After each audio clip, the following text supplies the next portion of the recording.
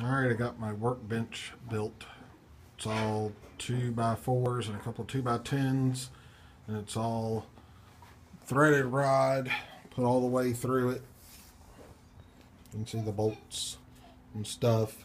And then I got some really massive threaded rod. I don't know if you can see that or not. But no sheetrock screws. This thing is also glued together. So this should last a little while.